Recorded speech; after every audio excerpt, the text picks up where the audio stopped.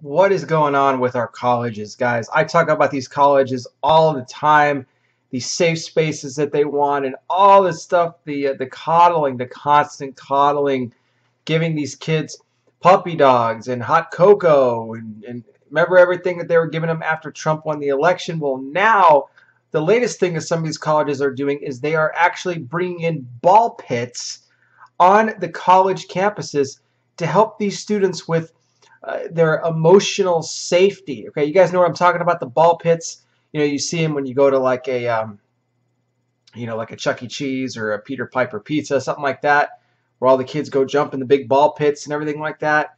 That's what they're actually bringing on campus. I'm not joking with you guys at all here. This is a, this is unfortunately a true, uh, a, a true story here.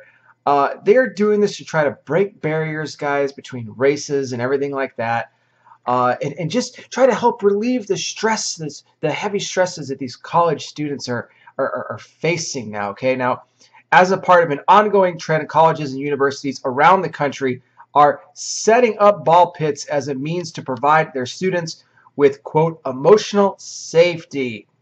Emotional safety, and according to a report from the College Fix, the ball pits are used as icebreakers to break down racial barriers, facilitate lessons on wellness and as part of freshman orientation.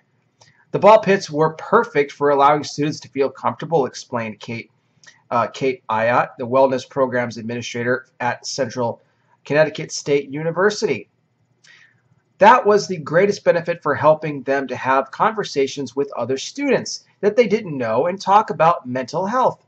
They were so relaxed and just hanging out in the little pools. She says, well, Central Connecticut University isn't the only institution that is actually participating in the new ball pit trend, guys. Schools such as St. Mary's College, Northwestern State University, excuse me, the University of Delaware, and also Ole Miss have joined on this just craze that's taking place, guys. All right, so I mean, they want this is what they want people to do. This is, they want students to pick up a ball with the ball with a prompt and talk to their partner in the ball pit about their response. The balls start conversations between students and help them to get to know one another on a slightly deeper level.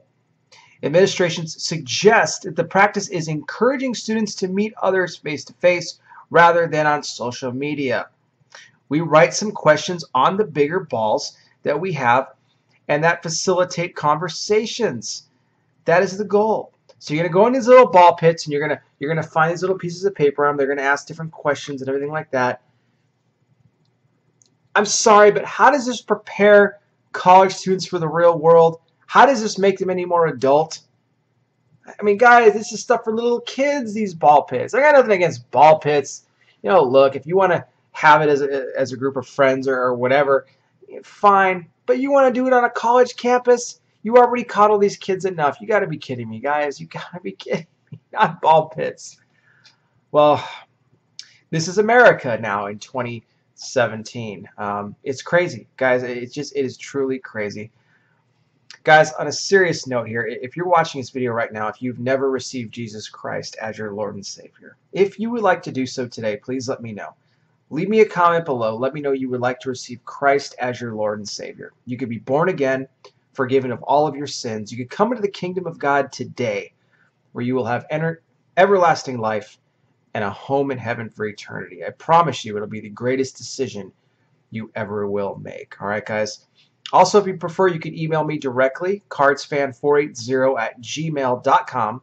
That's cardsfan480 at gmail.com. Write me there. I'll put a, a a link to the email below in the description. If you have any prayer requests or anything else you need, feel free to write me there. All right, guys. I'll continue to keep you up to speed here on all the latest breaking news, prophecy headlines, and current world events. I'll be back with more. You guys take care.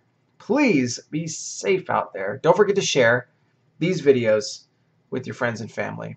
God bless each and every single one of you, and I'll talk with you soon.